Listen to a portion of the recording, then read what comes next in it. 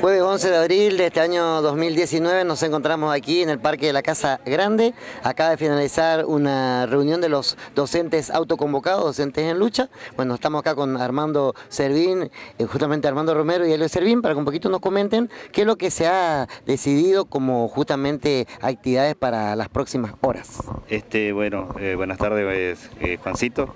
Este, sí, está, hemos terminado una reunión donde se ha decidido para el día de mañana eh, convocar a los medios, en los medios de comunicación al resto de los compañeros para el día también de mañana a las 19 horas un bocinazo desde Las Palmas hasta la Leonesa y ya pensando en las actividades de la semana que viene porque como se viene avisorando esto no tiene solución en lo inmediato. Entonces, este, para la semana que viene tenemos previsto la instalación de una carpa aquí en, en este mismo campito este, para lunes, martes en forma continua, o sea, desde el lunes prácticamente hasta el martes a la tarde. Este, con actividades tanto para el día lunes como para el día martes y eso es lo que eh, mañana los colegas le van a, se van a explayar en los medios de comunicación. Estamos saludando al señor Servín. Señor Servín, buenas noches. ¿Qué tal, Juancito? Que todo tu, al Canal 5, digamos así, agradecemos la presencia de ustedes eh, que nos acompaña constantemente. Y bueno, hoy fue, como dijo, un poquito todos los días nos, estamos reuniendo para de alguna manera organizar, porque hay noticias constantemente, bueno, por ahí a veces eh, Armando viaja, nos viajamos, buscamos la información y bueno, hay que informar un poquito y la parte no solamente informativa, sino también organizativa. O sea, lo, interesante acá es que continúa un gran número de docentes acompañando esto, o sea, es constante y les seguimos acompañando también a tanto al resto de los otros compañeros que por presión muchas veces están en la escuela y que entendemos, le invitamos a ellos también que hacemos justamente esta hora, una hora donde ellos puedan participar también, puedan enterarse de cómo se está dando la situación y de alguna manera poder acompañar en el futuro, porque esto en realidad no, no, no, no es que enseguida se va a solucionar. O sea, esto lleva mucho, lleva y la unidad y la cantidad de gente va a ser de alguna manera que va a torcer la voluntad de la, del, gobierno provincial fundamentalmente. La unidad por sobre todo. La unidad por sobre todas las cosas. O sea, que no tengan miedo los docentes que por ahí a veces son presionados y que están volviendo a la escuela, porque evidentemente que estamos pasando hace 15 días atrás menos, el gobierno provincial apuntó constantemente a, que se digregue esto. Y yo creo que eh, no ha logrado en su conjunto, eh, seguimos estando en la lucha, sigue estando la docencia en la lucha.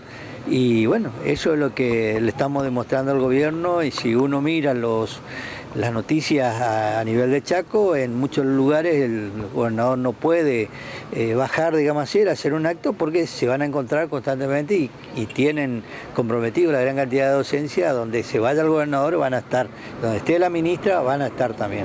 Cualquier tipo de actividad, digamos así, que haga la provincia para visibilizar eh, la lucha docente fundamentalmente. ¿Por qué digo visibilizar? Porque muchas veces uno prende, espera que radio, eh, que Canal 9 de Chaco muestre algo y no muestra nada. ¿Por qué? Porque de alguna manera eh, están ellos anajenados, digamos así, a, este, a esta cuestión de las de la paga de las de las propagandas publicitarias, entonces tienen también la orden de no mostrar nada de lo que signifique justamente la lucha docente. Y por ahí a veces, bueno, son a través del WhatsApp, a través del Facebook, que por ahí uno va enterándose y bueno, y esto es lo que de alguna manera eh, acompañar constantemente. Muchas gracias. Señora, buenas noches. Bueno, buenas noches. Yo quería hablar a la Cámara directamente porque yo soy una docente muy conocida acá en la zona, en los dos pueblos, Las Palmas y La Leonesa, y a los que están aquí obviamente no les voy a hablar porque si están aquí es porque están convencidos. Es a los que no están aquí y que están trabajando. Les pido, colegas, por favor, apóyenos. Esta lucha es por todos. ¿Eh? Tengan un poco de dignidad, por favor, les pido. Eh, no tengan miedo a sus directivos, lean el estatuto, tenemos muchos derechos, estamos luchando por nosotros, por nuestros alumnos. Si conseguimos las cosas va a ser para todos, incluidos los directores que tanto les amenazan, a ver a cuánto se va a ir el sueldo de ellos y los supervisores también. Deberían estar apoyándonos y no en contra nuestro. Por favor, colegas, súmense a nosotros, los necesitamos. Juntos van a ver cómo todo va a ser posible. Cuando vean que somos muchos, va a temblar este gobierno. Por favor, les pido, súmense a nosotros. Nada más. muchísimas gracias.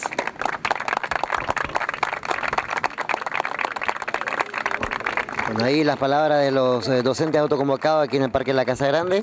Mañana viernes, 18 horas, se van a estar concentrando aquí en el Parque de la Casa Grande para un bocinazo por las calles de Las Palmas de la Leonesa mañana viernes. Luis Batalla en la cámara, Juan Mesa en los comentarios y esta cobertura de lo que sucede en la zona. Volvemos en cualquier momento.